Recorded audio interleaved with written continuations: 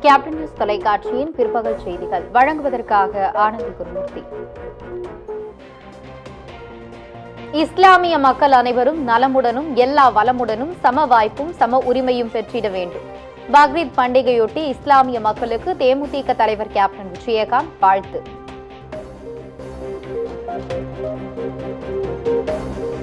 வாயில் காயத்துடன் சுற்றி திரியும் பாகுபலி யானையை பிடிக்கும் பணியை கைவிட்டது. வனத்துறை பாகுபலி யானையை கண்காணிக்கும் பணி தொடரும் எனவும் அறிவிப்பு.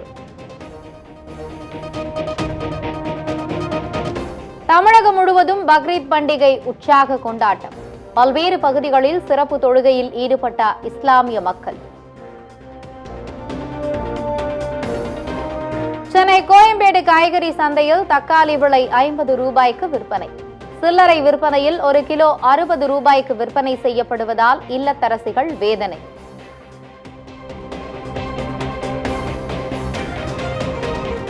தமிழ்நாட்டிற்கு கொரோனா தடுப்பு மருந்துகளை அனுப்பவில்லை.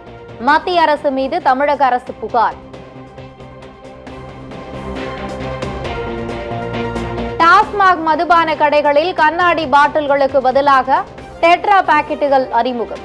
தமிழக அரசு ஆலோசனை செய்து வருவதாக தகவல்.